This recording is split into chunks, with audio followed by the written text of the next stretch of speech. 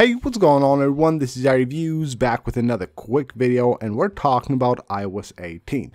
As probably all of you know by now, we're currently on beta stages on iOS 18, we're currently on beta 4, a lot of new features and changes, an awesome update, and actually a lot more to come with the new Apple Intelligence features that will be released in the near future during the beta stages, and then of course during the year, even more cool new features.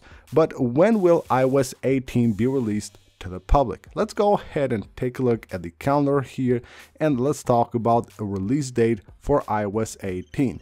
Well, the rumors are saying that the event for the iPhone 16 will actually happen on September 10th.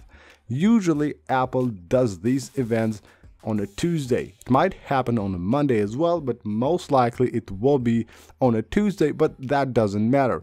But it should be on this week right here. Of course, if history is any indicator, it should actually happen during the week of the 9th of September right here.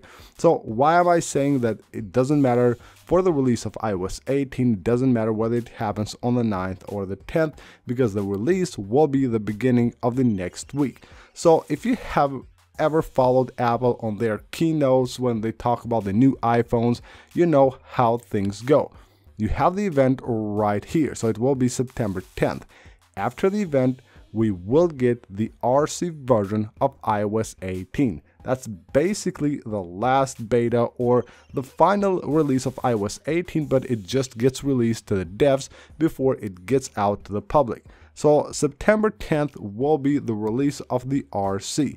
Now on Friday here, September 13th, should be the date when the iPhone 16 goes on pre-order and they usually ship a week after which will be then September 20th. And you know what happens? The beginning of the week when the iPhone will be shipped, we get the new software release. So you can expect iOS 18 to come out to the public on September 16th. Again, if history is any indicator, this is what will happen.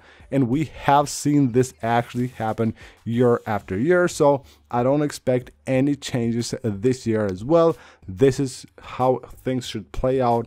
Most likely, this is what will happen. So, iPhone 16 event right here on the 10th, alongside with the RC version of iOS 18 after the event pre-order of the iPhone 16 on September 13th. Then we have on September 16th the release of iOS 18 to the public.